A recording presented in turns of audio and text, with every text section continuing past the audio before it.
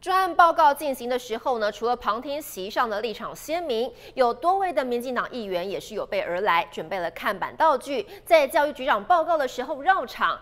只是呢，这个举牌的议员抗议的对象不是地方的教育局，而是教育部。既定的教育局长专案报告时，三位本来只站在座位上举牌的议员开始绕场。从一零三学年度，就是明年有教育局报告。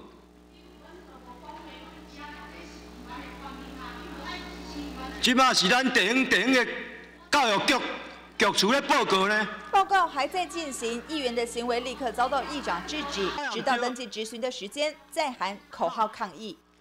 中央不负责，地方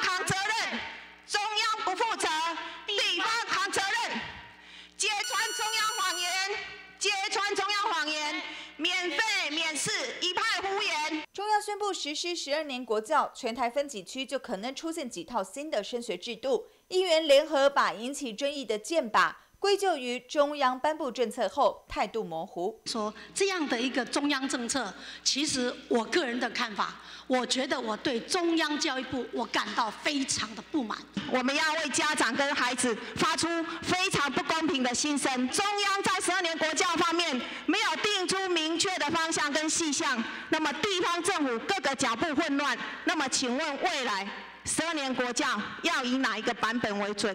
既批中央不负责，又要揭穿关于十二年国教的谎言。中央实行新制度的争议火烧到地方，议员点出政策面的不合理现象。港东新闻员朱宇宏采访报道。